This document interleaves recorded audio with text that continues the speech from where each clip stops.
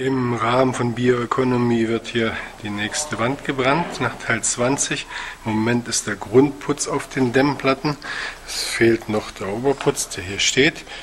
Das wird das Gerät sein, wo dann der Brenner daraus äh, die Flammen kommen. Und hier sind noch ein paar Materialreste, dass man also sieht, dass es diese 100 mm dicke äh, flammgeschützte Putzträgerplatte von Homotherm ist zusätzlich eine 10 mm Gipsfaserplatte und diese Holzlattung äh, 6 auf 4, die den Holzständer darstellen soll. Kurz vor dem Beginn des Brandes nochmal die verputzte Fassade, wo also auch der Oberputz drauf ist. Und man kann nochmal sehen, dass hier der Aufbau dieser Latten ist, die hier in horizontaler Richtung liegen, drüben in vertikaler Richtung. Darauf die 10 mm Gipsfaserplatte, darauf die 100 mm flammgeschützte Putzträgerplatte mit dem gesamten Putzaufbau. An der Seite ist es zu. Und hier unten sieht man, dort wo der Brenner eingestellt ist, der diesen Zimmerbrand simulieren wird über 20 Minuten. Und hier oben die Thermofühler, die dann zeigen, wie weit der Flammenfortschritt fortgedrungen ist und an der Seite nochmal sichtbar, dass hier das Holz nicht in horizontaler Richtung ist, sondern vertikaler, dadurch so eine Kaminwirkung entsteht. Und es wird also jetzt diese 20 Minuten gebrannt werden und danach ohne jeglichen Einsatz von Wasser oder anderen Löschmaßnahmen wird es 48 Stunden stehen gelassen. Der innere Glimmfortschritt wird sich etwas ausbreiten, das wird man markieren können und das Öffnen zwei Tage später wird dann zeigen, dass man ohne Wasser, ohne jegliche Gefährdung solche Konstruktionen öffnen kann. Das so, jetzt wird das gezündet.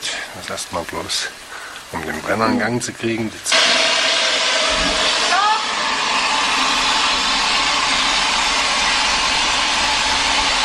Der Start. Und das wird jetzt für 20 Minuten hier brennen. Und dann, es wird also in der Höhe, na, ich würde mal sagen, 40 cm Höhe über diesem Sturz, maximal 40 cm wird es so ein Blutnest hervorrufen. Links an diesem Schenkel wird es auch eins machen, aber höchstens in 10 cm Tiefe und auch nur da unten in dieser Ecke weiter oben nicht. Und das wird der Startpunkt des Zersetzungsfortschritts sein. Jetzt sind mehr als 19 Minuten vergangen und den Rest bis zur 20 Minuten und dieses Wegnehmen der Flamme werde ich mal durchlaufen lassen. Man wird es auch hören, wenn er das ansagt. Danach ist die Flamme weg und es wird nur noch eventuell aus dem Sturzbereich in einige Sekunden lang ein wenig Gas nachbringen. Dann erlöscht die Flamme auch vollständig, ohne dass hier irgendwie Wasser dran kommt und es wird dann so äh, stehen gelassen für 48 Stunden. Also nochmal betont, keinerlei Löschwasser, keinerlei Löschmaßnahmen. Jetzt zählt er das runter und sagt Bescheid, dass er hinten die Flamme ausdrehen soll. Und wie gesagt, dieses Nachbrennen, äh, jetzt ist Brenner aus. Jetzt hat er den Brenner weg.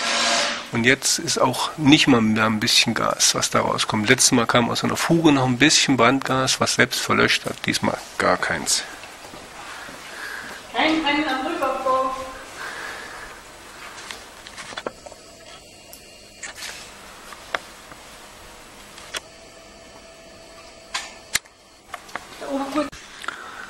Dort, wo es wieder weiß ist, ist der Ruß weggebrannt. Man sieht noch ein paar Dübel da oben drüber, die immer genau dasselbe Bild haben. Es wird erst schwarz, wenn dann die Farbe oder der Ruß weggebrannt ist, wird es wieder hell. Also dort in der Ecke waren Dübel. Risse sind nicht. Hier unten auch nicht. Hier ist ein ganz kleines bisschen unten eingerissen in der Kante. Da ist kein Gas rausgekommen. Hier auch nicht. Also direkt drunter ist ja die Putzträgerplatte. Noch ein bisschen warm, aber man kann hier hingehen. Und jetzt wird es hier stehen gelassen. Bei Ankunft zwei Tage später sieht man es hier oben ganz leicht rauchen, weil er scheinbar oben, nee, das wird dahinter sein. Das ist hinter der Gipsfaserplatte. Und was hier noch auffällig ist, dass es hier wohl eine Fuge gegeben hat. Muss man auch nochmal rauskriegen, welche Fuge das ist an der sich das hier runter bewegt hat. Und alles andere ist hier angezeigt am Vortage, also am 28.10.30 Uhr, wie weit das ungefähr war, die rote Linie und am 27. auch, wo man wohl mit der Thermokamera das mal gezeigt hat. Nur ein Unterschied zwischen dieser richtigen Hinterlüftung, was man natürlich beenden kann, was völlig üblich ist, indem man oben noch eine Querleitung irgendwo reinmacht, dass diese Luftbewegung nicht entsteht. Aber hier geht es ja zur Demonstration des Unterschiedes. Und dann hier drin nochmal vielleicht gleich. Hat sich nicht viel verändert. Hier ist ein bisschen was abgeplatzt von dem Putz. Das war vorher nicht. Hier ist auch etwas mehr zersetzt. Aber das Interessante ist eben dieser Ritz hier runter, der eine Fuge entweder in der Gipsplatte oder in der Dämmplatte markiert, werden wir dann beim Öffnen sehen. Soweit. So, es wird jetzt vorbereitet, da die Putzhaut zu öffnen. Ziemlich weit außen, da wird nur die gelbe Holzfaser noch zu sehen sein, nachdem er diesen Schnitt gemacht hat und die Haut geöffnet hat.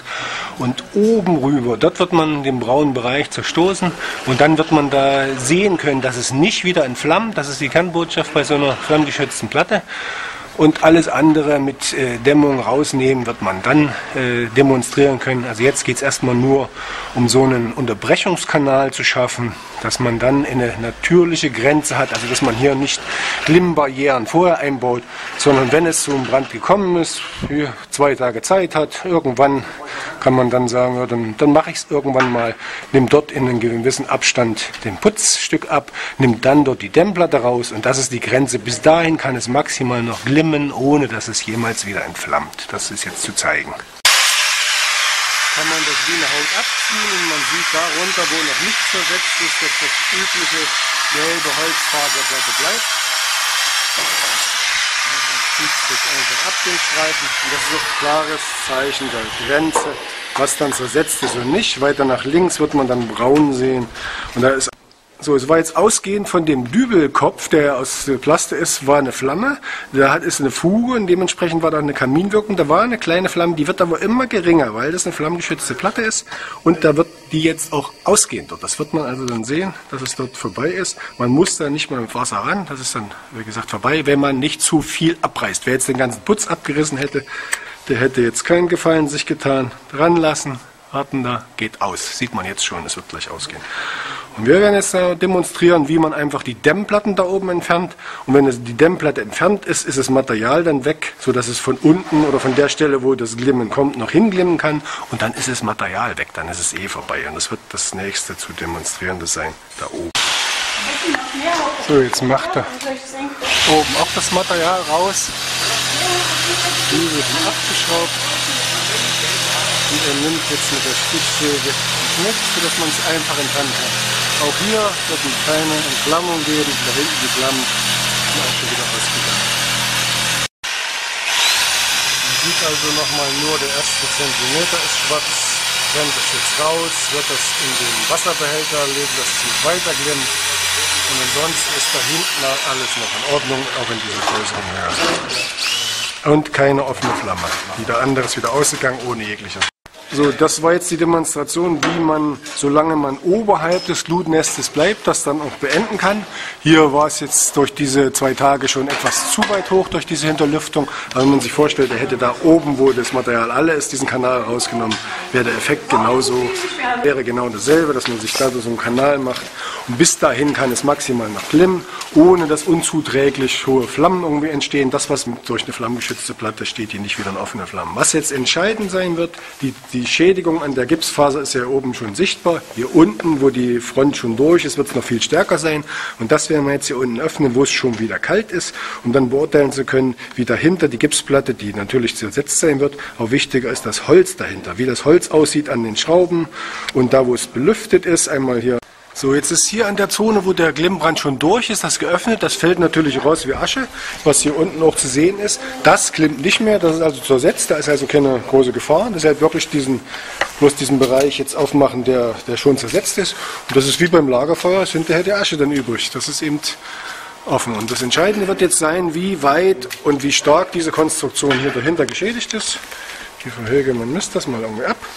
Und man sieht also noch von den von der äh, einen Lattung die Dübelschrauben, die hier runtergehen, dahinter ist das Holz und hier ist es hier unten die Lattung, die andere kommt erst weiter oben und man wird jetzt beurteilen, indem man die äh, Gipsfaserplatte, die natürlich zersetzt ist, dann mal öffnet und sich dahinter das Holz anschaut. Das ist die entscheidende Geschichte, wie weit das geschädigt ist.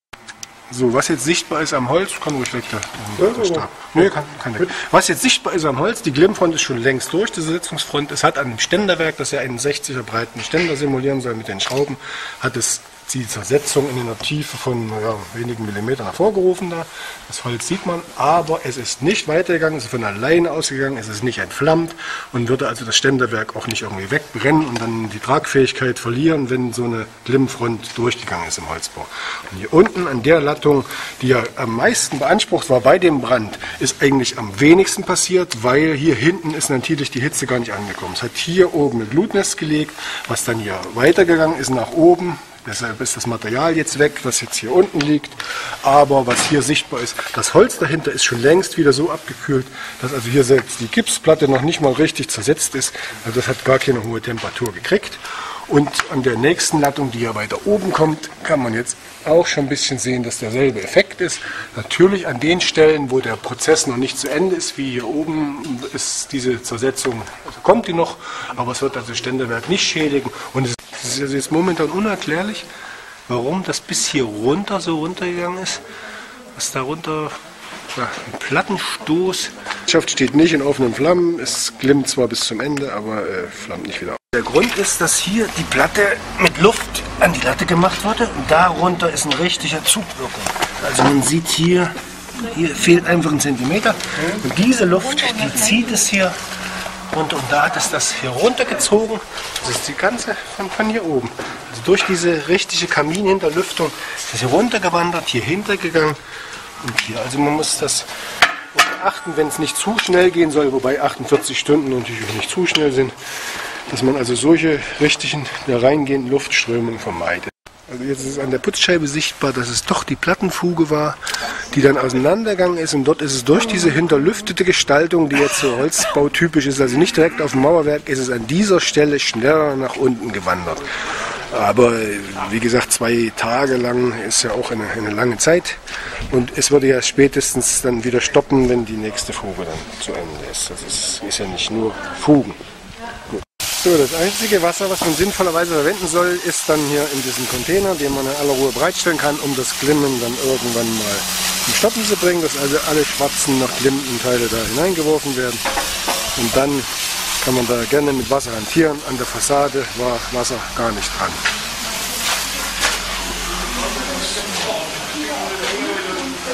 Und es sind die verschiedenen Sachen zu berücksichtigen mit Hinterlüftung und mit verschiedenen Dingen, die man Ruhe dann auswerten soll. Also hier oben wird der Rest sich noch zersetzen, bis es dann vorbei ist, bis das Material zu Ende ist. Man muss natürlich an der Seite dort auch wieder eine, eine Unterbrechung schaffen und dann ist